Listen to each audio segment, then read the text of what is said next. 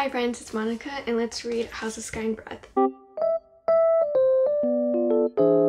I'm super excited to make this intro because um, House of Sky and Breath is one of my most anticipated reads of this year and I've been waiting like two years for this book to release and it's finally here. So I did get an exclusive edition from Indigo or Chapters and um, the bonus scene at the end of this book is about Bryce and Hunt. Okay, but for this video, it's going to be my first kind of, I guess, vlog style, but I'm sitting down and going through my reactions as I read the book. So I figured with reading this book, I did want to speak about the spoilers, so I will have an image of House and Sky and Breath in like a corner in this video when I'm speaking about spoilers because I won't be always holding up the book so I will have a little photo of the cover to let you know that there are spoilers being talked about but I also have timestamps in the description and in the comments below of when there are non-spoilers and when there are spoilers. So this is the second book in the Crescent City series, so there will be spoilers for the first book, House of Earth and Blood, because of course this is the second book, so if you have not read the first book, uh, go read that book and then come back to this video. And I do recommend that if you have not finished House of Sky and Breath just yet, um, come back and watch the spoiler parts if you want to. And I will have another full in-depth review of House and Sky of Breath with spoilers and no spoilers sections of that video and that will be coming out within a day or two from this video and I'll have that linked up above. So be sure to check that one out once it's uploaded. So these are my initial reactions for the non-spoiler part. I do have my copy of House of Sky and Breath here. I usually do take off the dust jacket before I read it and I'm about 100 pages in and I think this is so yeah, I'm on chapter 9 if you could see that. And I'm using this really cute bookmark. It says hang out and read and it's like a little sloth. As soon as I started reading the second book, it was a lot different from the first book in terms of its pacing because in the first book we were struggling to get through all the world building and I recall a lot of people complaining about that how the first 100 pages of House of Earth and Blood were incredibly slow. But now that like the world has been established and going into this book, we already know all the characters, we already have a foundation. So going into this book, the pacing was a lot better right off the bat. And myself, I didn't even reread um, House of Earth and Blood before even going into this book because the first book is also 800 pages long and I didn't want to reread it. So I just read a recap online and even with me not rereading the first book, it was quite easy to get a hold of what's going on in the story. At this point in time in the book, we're still kind of gathering information of like what's going to be happening next to Bryce and Hunt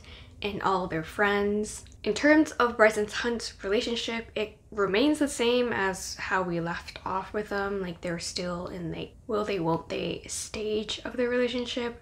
I guess, friends with the benefits. But I am looking forward to how they will evolve throughout this book. Another point for the beginning of the book was the prologue. So the prologue started off in a new location and that's all I'm gonna say about that but it was really interesting and it did remind me of like military action scenes. I'm not gonna say much about it but I really enjoyed it. For all my non-spoilery people, I'm to be saying spoilers now and I will have the little image of House of Sky and Breath on the screen now so you'd know when I stop talking about spoilers. Okay, so for the spoilers of this book so far, I really, really thought at the house party at Ruhn's place that the person who was coming out of like the portal was going to be Aidas. It ended up being Cormac, who is now a new character that we're being introduced to. He's the he's the crown prince of the Avallen Fae. I do think he will be a really significant character because of course having a random new character pop up does not mean they're just there for decoration but I do think he has a really significant role to play. The chapter that I just ended off was just Cormac speaking on why he's even there in Crescent City and he's saying that he's in an arranged marriage with Bryce and I'm now thinking like is this guy gonna be another Rhysand or another Rowan. But I still Hunt and Bryce are endgame, but I let's see what happens from there. And going back to the beginning of the book with the prologue, now we have a creature in that which is Sofie and Emile are both Thunderbirds. And of course they will play a huge part in this book. And I think with that entire sequence of the prologue and getting into this book is about the human rebellion, even though that is what's hinted at in the synopsis of House of Sky and Breath, I did think the human rebellion aspect will be a huge next plot point in this book. And I think that'd be a really cool contrast to see like after Bryce and Hunt, they killed the previous archangels, Micah and Sandriel, and they weren't really the best leaders, but I guess it's going to be another form of rebellion maybe with Bryce and Hunt, but let's see. Oh yeah, one more other thing about the um, arranged marriage with Cormac and Bryce. I did like how Ruhn was kind of stepping up to his father and saying that, oh, this arranged marriage is really outdated and really not part of how things should be running now. I really did like how Sarah touched upon that aspect of the arranged marriage stuff and how Fae females struggle to find their own place in this world. And I really think there will be more more elaboration on that in the next chapters. So that's my initial thoughts right now. I'm really enjoying the book. Okay, so now I'm going to be talking about part one. So a lot went down since I last checked in with you guys and we are being introduced to a ton more people, a lot more characters, and kind of like a reintroduction of old characters that we haven't really had a focus on in the first book. We're seeing more of a certain werewolf as well as a certain mer or merman. I think they're they're referred to as mer, M-E-R. So we have more of those characters coming into this book and they're quite involved in the mystery that's going on now. Okay, so what I was saying in the last clip, I believe, was how the pacing was a lot better than the first book. And the pacing is a lot better than the first book, but in part one, we're getting a lot of setup for this particular plot line that's being huge throughout this book. Part one, the pacing was a little bit slower but I do think it will be paid off. But like I didn't not enjoy it. So I still enjoyed like the direction the book was going into. So we did get one steamy scene between Bryce and Hunt, which is obviously typical now of Sarah J Maas, so I'm not surprised at that. But I do still think they're going to be endgame. There were some revelations that I was pretty surprised at, but I think I was kind of just really focused on what was going on and not really predicting ahead of what will happen. And I think I missed that little tidbit, but um, that particular revelation I'm going to be talking about in the spoiler part was really shocking, and I really liked that. And I was like, wait, it's that's what happened? Okay. I'm going on to the spoiler part for part one. We are introduced to those different characters I am speaking about, and it seems like each character has like their own particular mission. And with Tharion, the merman, um, he's part of the investigative work that's being done to, to find Julie and her brother Emile. I really enjoyed reading about the struggles of Tharion and him being under the command of the River Queen and how he's kind of not all good with that just yet, but he's just following orders so let's just see how he fares in this book. Okay, and then we have the introduction of the Thunderbirds to the rest of the crew and seeing all their reactions were really nice. But like with that particular scene, I think it was like chapter 15 where it was revealed that Cormac was actually the agent or helped Emile escape on the boat back in the prologue, um, Agent Silverbow. Agent Silverbow. So Prince Cormac is actually Agent Silverbow, and that really that was the part that shocked me. And i think it would have been quite obvious if i was paying a little bit more attention. But the one thing about that scene was it was kind of a massive info dump which i did not like because it was like a huge revelation. Oh okay tharion's telling us all about this new mystery that we all need to solve and be aware of and of the human rebellion that's possibly really increasing in strength. And then now we have prince cormac coming out of that same situation and being oh, I'm tracking down Bryce because she has a connection to Sofie and and Danika. It, it just seemed a little bit too convenient, but I guess it's the setup for this book, so I understand why that happened and how like Aidas appeared in his cat form and was sleeping on Ithan's lap. that part made me laugh. And um, I also like the different motivations that the crew had. The crew being like Bryce Hunt, Ithan, Ruhn, Aidas, and Cormac, also Tharion. Um, their different motivations to pursue this investigation or to help this mission of Tharion's. Tharion and Cormac, of course, they're both under orders in a way, but Cormac has more personal connection to this case than Tharion. It's more like the more experienced people being Hunt and Ruhn and like older Vanir um, that had experience with human rebels before in the war that preceded this book how their side and their motivation to say okay no we shouldn't be joining in into the search for Emile because then the Asteri and all the higher ups will then just execute us and kill us versus the less experienced people being that of Ithan the werewolf who got kicked out of the pack because he helped out Bryce to save people during the demon attack on the city in the first book. And we also have Bryce who's really headstrong and strong-willed and she will really, really want to find out more answers about Danika because there also is a connection between Danika and Sofie. So with that, I understand why each person and everyone who's gathered in that room and gets the news. Basically, there's a lot going on in part one. We have the introduction of the Archangel Celestina. We also have the human rebellion and thing going on as well. That's an overarching plot line. And we also have more introductions of the demon princes. We have the demon prince of the pit, Apollion, um, contacting both Hunt and Bryce and basically threatening war. That was like the last page I just read before I picked up the camera. How the Reapers took Ruhn. So now Apollion basically just wants to wage war against Bryce because it's like a second chance for him to defeat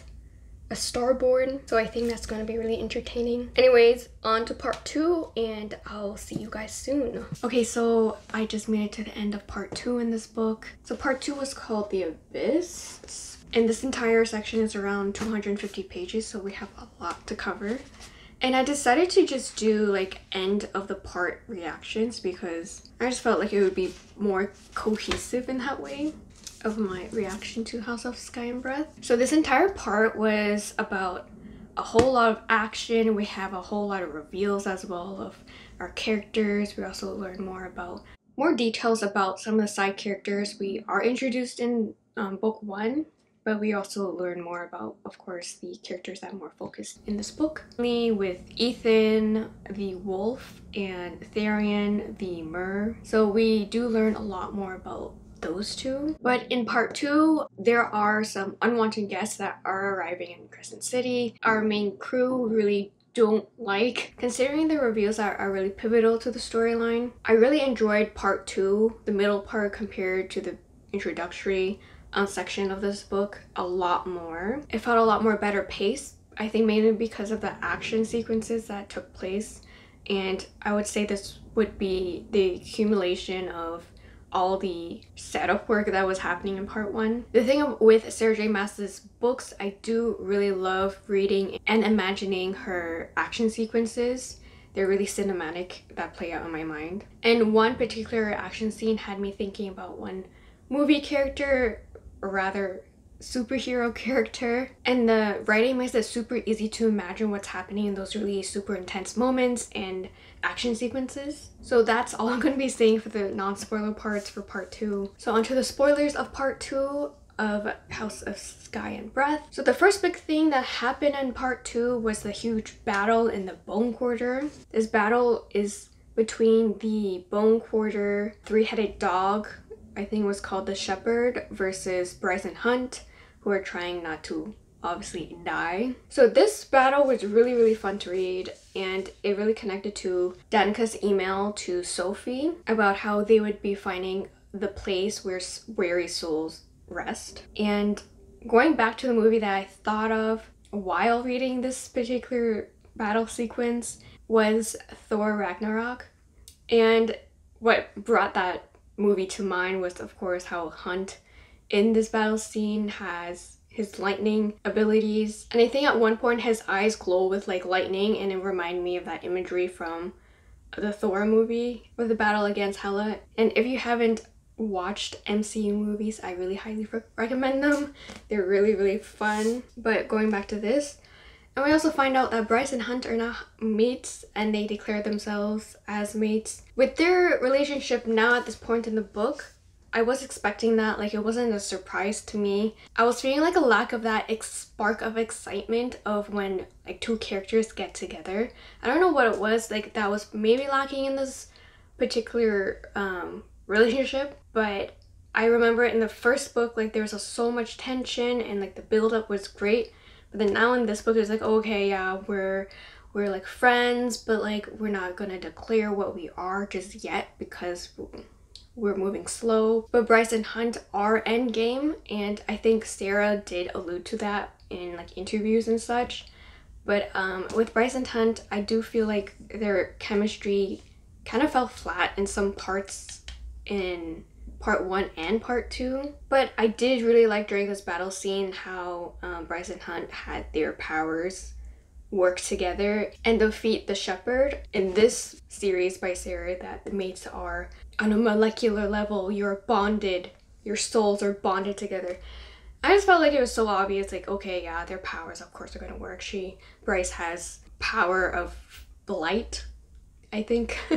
and then um, Hunt has the power of lightning. They have powers of light and energy, so like, a, like they will work together well. I guess the most major thing that also came out of that bone quarter scene was that they find out the souls that are supposed to go to a really peaceful and restful place after you pass away. But then our main pair, they find out that that's not the case and the souls are being regenerated or being reused as second light for to like basically power the city and that's really morbid. I feel bad for our characters who have to kind of figure out what is going on on that side of the problem. We also have the arrival of some unsavory characters to the city, including the Hind, um, Pollux, Baxian, basically of the Triarii of Sandriel and how they're now sent to Crescent City to become part of the new archangels Triarii. And these new characters that are now in the city are rivals of Hunt and our crew. It was nice to learn about those characters as well, but then again, I didn't really feel much of a threat against them if that makes sense like like sarah was just telling us oh oh this is what they did in the past and this is they're just horrible people so just accept it. I guess like again, there was like a bit of lacklusterness in their villain arcs, I would say. Even their horrible actions that are shown in the in this particular part, it wasn't really directly affecting our characters. It was just like okay, they are affecting people around our main characters. And I felt that just brought a lack of evilness to these bad characters. Anyways, I digress, so moving on to my next point. Further in into part two, like near the end of part two, I'd say that this is when our crew was like knee deep into the rebellion cause and helping out the rebels. And we have our second battle in this part which takes place on the island of Ydra. I think that's what it's pronounced. And basically now our crew of Hunt, Bryce, Tharion, Ithan, and Ruhn.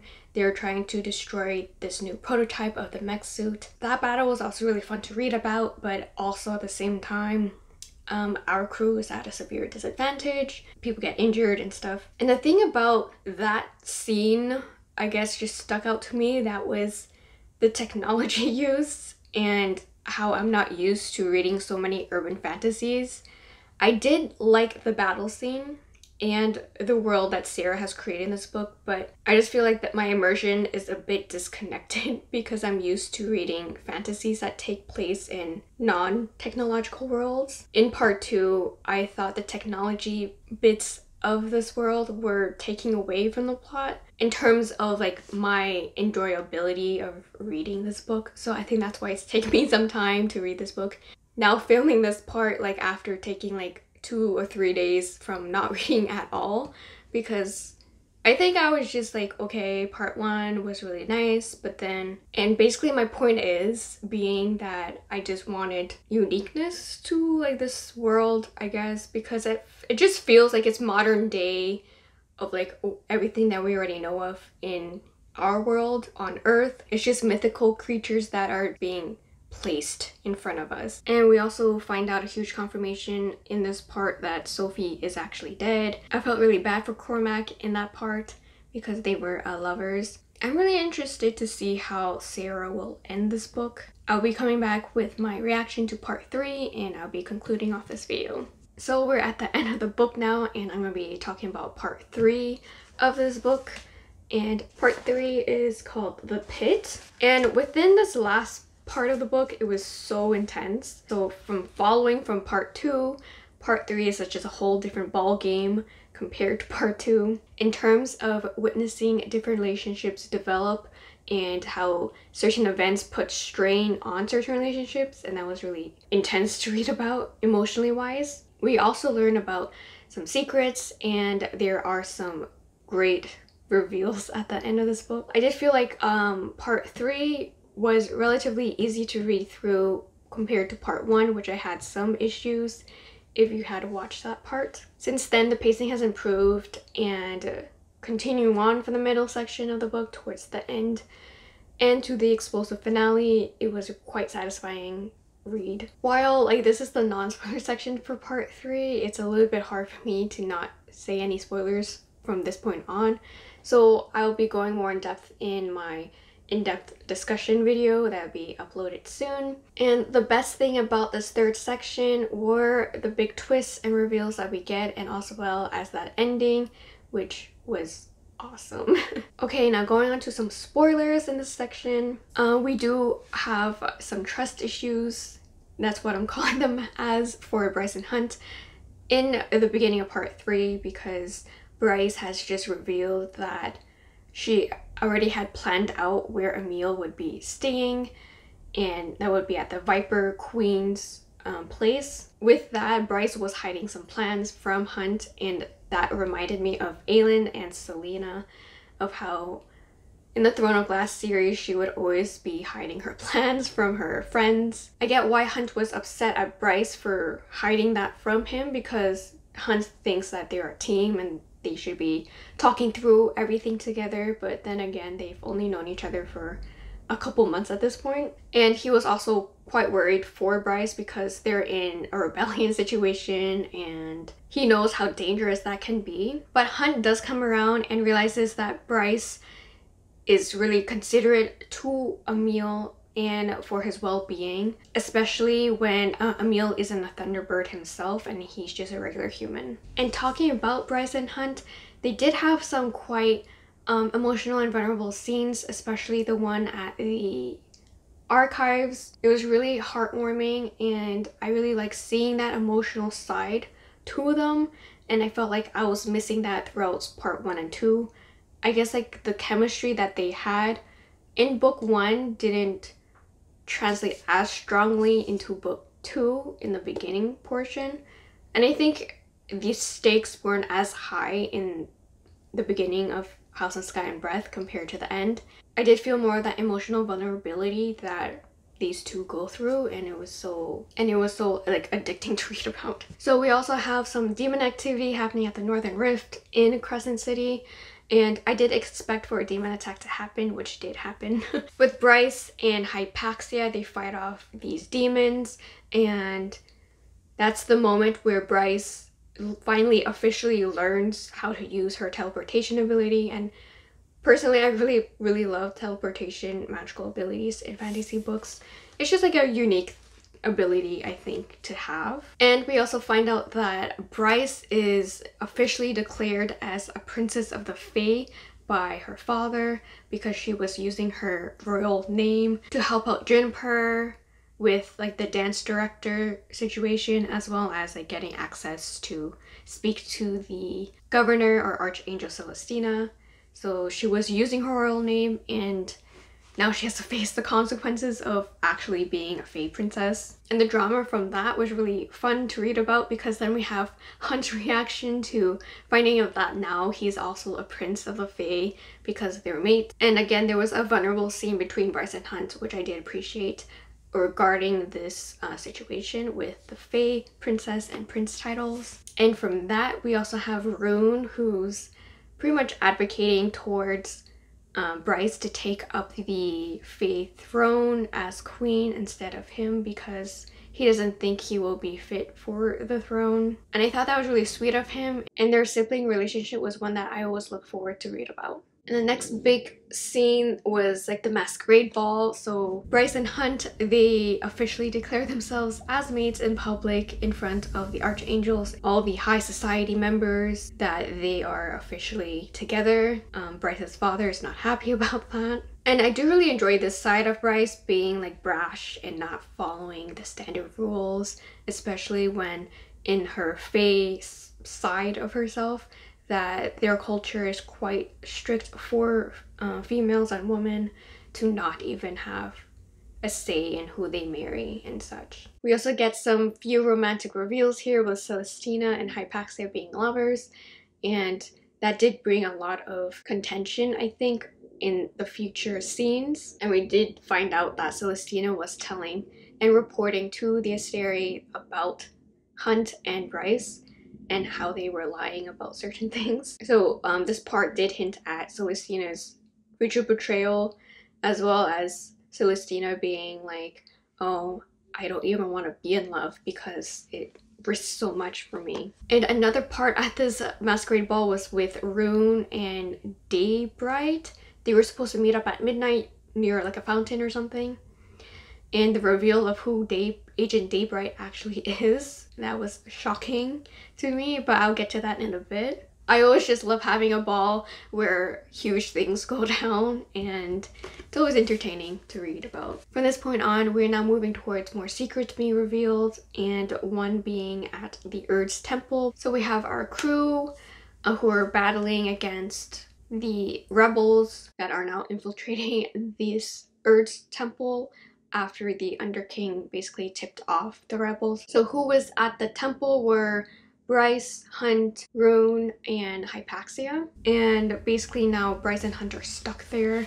But then, oh my gosh, we have Baxian who comes and saves them and leads them out a secret exit. It is then revealed that Baxian is actually Danika's mate. And I was not expecting this part at all and when he showed like the tattoo of um, through love all is possible in danika's handwriting bryce was like what the hell? This isn't real. Who are you? And i thought that part was really again shocking. And we also received some information about how Baxian and danica met and how they are linked to sofie and also the there was like a a code that sofie like drew carved into herself while she was drowning of like letters and numbers and it came from Baxian. And at first I only thought that Baxian only wanted to join the crew because he wanted to turn a new leaf but like of course like it would not make much sense if he didn't have an actual personal reason to be pursuing to join our crew of characters. So finding out that he was Danika's main, it did bring a lot of depth to this to his character. But after um, Bryce finds out about Danika and Sofie both going to the Asteri archives. Of course, that's where she wants to go next, and that's where a whole lot of shit goes down.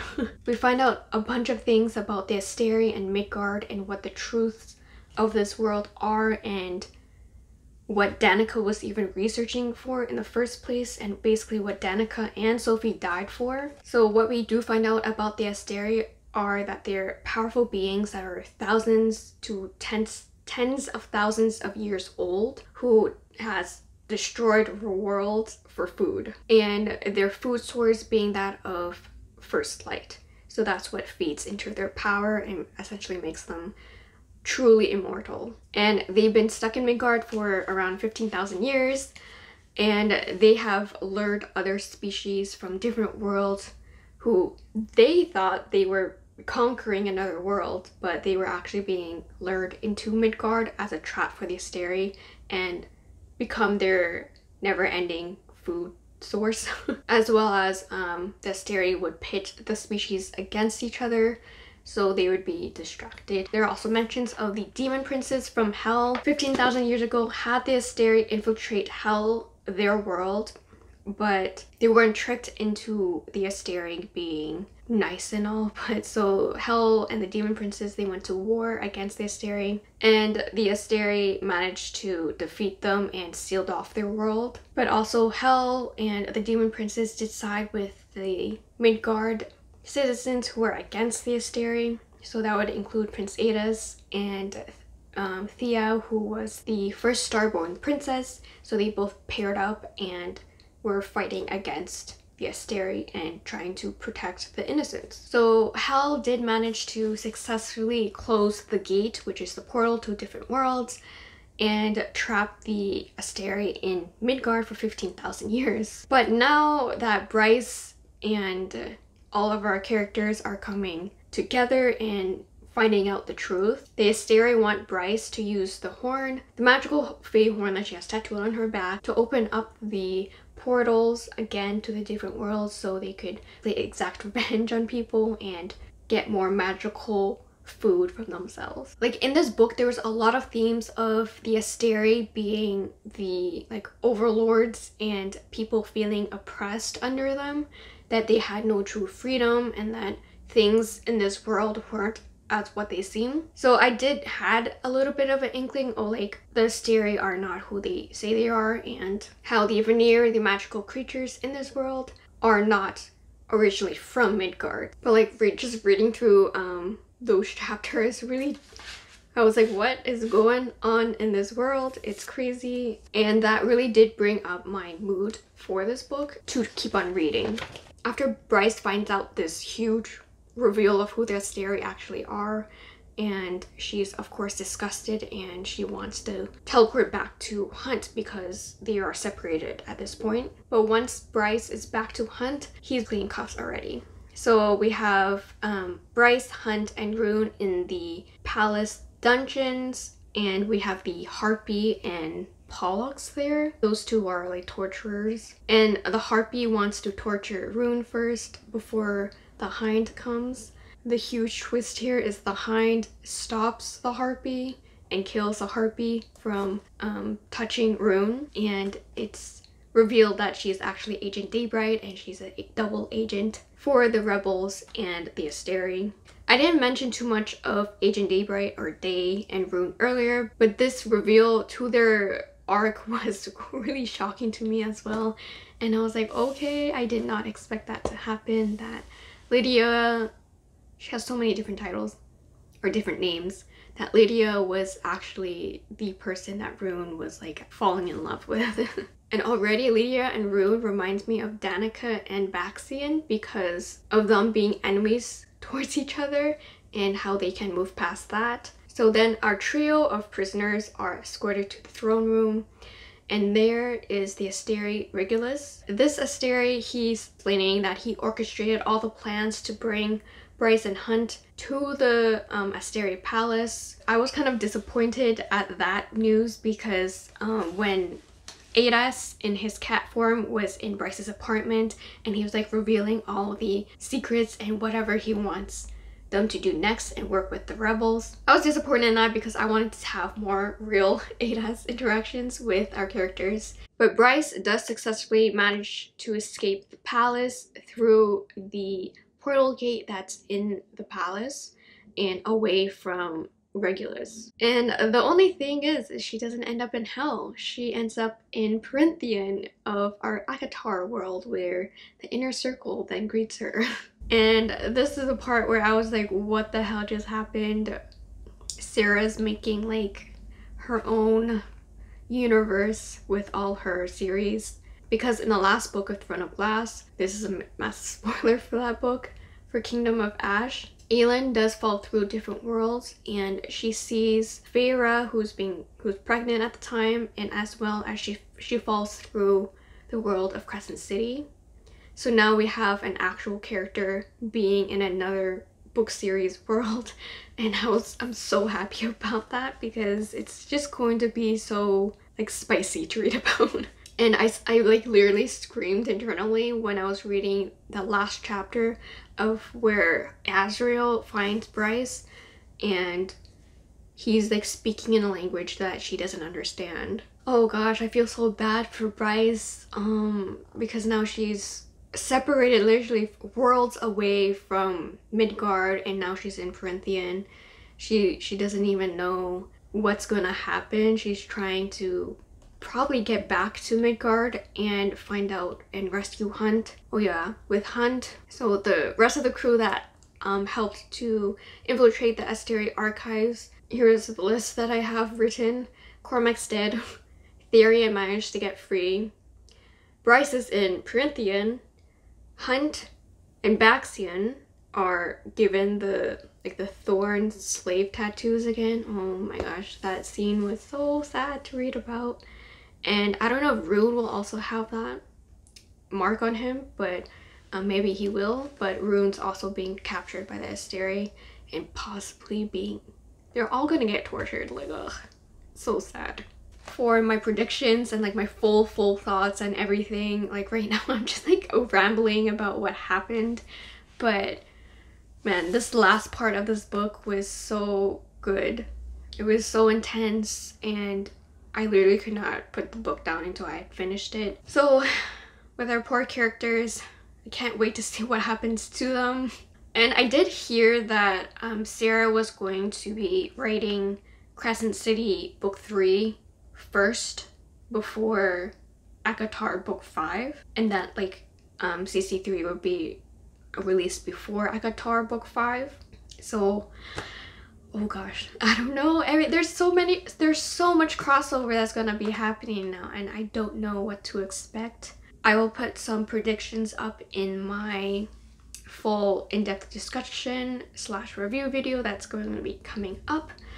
But with that being said i did end up rating house of sky and breath a 4.5 out of 5 stars because there were some issues that i had in the first part of the book that i just can't overlook um, I, I'm being a little bit more critical this year, I think. But overall, House of Sky and Breath continue to be a excellent adult urban fantasy book to read that delivers on action, romance, and fighting for what's right. So thank you so much for watching. I hope you enjoyed this vlog style kind of sit down review reaction while I'm reading. and remember to tune in for my full in-depth discussion of this book that will be uploaded very, very soon. Don't forget to give me a big thumbs up, hit that subscribe button down below, and ring that notification bell to not miss any future uploads. I'll see you all soon.